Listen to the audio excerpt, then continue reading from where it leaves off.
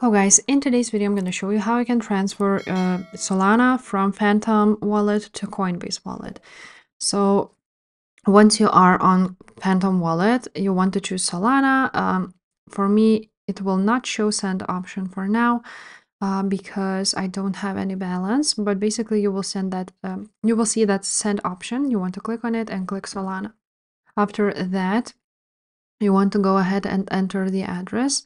So you want to go to your Coinbase wallet.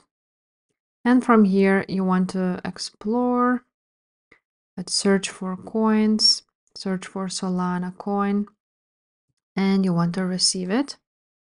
So click on receive, copy your address here, go back to Phantom and paste your address.